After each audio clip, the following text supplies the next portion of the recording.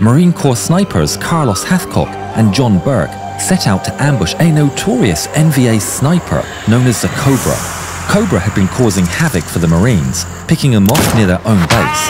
After hours of tracking, they discovered a potential firing position and a hidden trail leading uphill. It's a trap, and the Marines flee, narrowly escaping Cobra's shot. Hathcock and Burke climb the ridge and see a glint in the jungle. Hathcock immediately takes aim and fires. Upon inspecting Cobra's rifle, they discover Hathcock's bullet had penetrated the length of the scope.